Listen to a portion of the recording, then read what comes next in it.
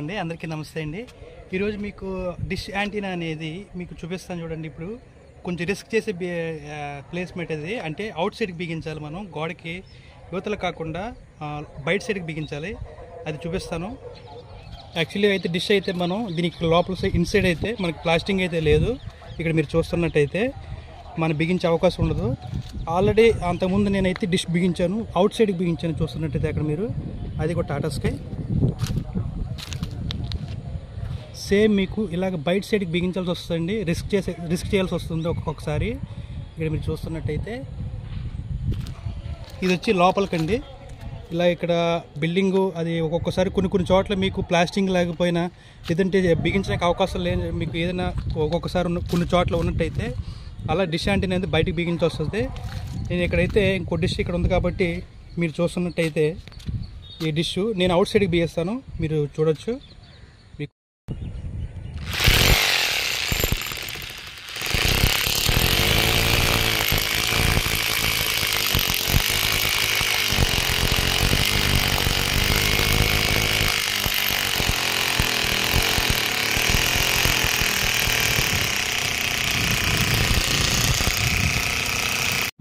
Stand అయితే బిగించండి చూస్తున్నట్టయితే out side ఎలా ఉంటుంది.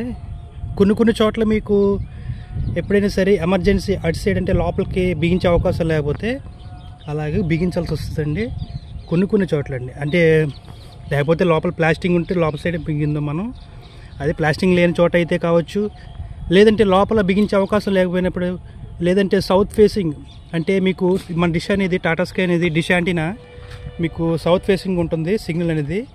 అప్పుడు లోపల సైడు ఏదైనా అడ్డుగా ఉన్నా లేదంటే బిల్డింగ్ గోడ అయినా అడ్డు చేసినా సరే అండి ఇలాగా అవుట్ సైడ్ అయితే ఇలాగా మనం వాల్ మౌంట్ చేసి ఇలాగా బిగించాల్సి వస్తుంది. ఇప్పుడు సిగ్నల్ అయితే పెడతాను.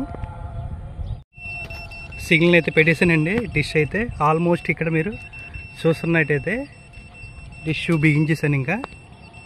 అవుట్ సైడ్కి అండి అంటే గోడకి అవతల పక్కండి. బిల్ మీ బిల్డింగు మీ బిల్డింగ్ కావచ్చు లేదంటే అది ఏ ప్లేస్ అయినా కావచ్చు అండి. డిష్ డిష్ కూడా మీకు ఇన్సైడ్ లోపల అయితే ఇక్కడ బిగించాల్సి వస్తుందండి చాలా మట్టుకు అయితే. కానీ మనం అవుట్ సైడ్ బిగించాం ప్లాస్టింగ్ లేకపోవడం వల్ల మనకు ఎమర్జెన్సీ అయితే మనం అలా అవుట్ సైడ్ బిగించి వస్తుంది. సిగ్నల్ కూడా మీరు చూస్తున్నట్టయితే సిక్స్టీ నైన్ క్వాలిటీ కింద అలాగే thirteen fourteen point one dB మీరు చూస్తున్నట్టయితే ఫోర్టీన్ పాయింట్ త్రీ డీబీ అలా చూపిస్తుంది. టాటా ప్లే సిగ్నల్ కూడా మీకు బాగుంటుందండి. మీకు ఎలా బిగించినా సరే సిగ్నల్ అంటూ ఒకేలా ఉంటుంది. మనమైతే ఎప్పుడు లోపల సైడ్ బిగించే వాళ్ళం బయట సైడ్కి అలా వస్తుందండి.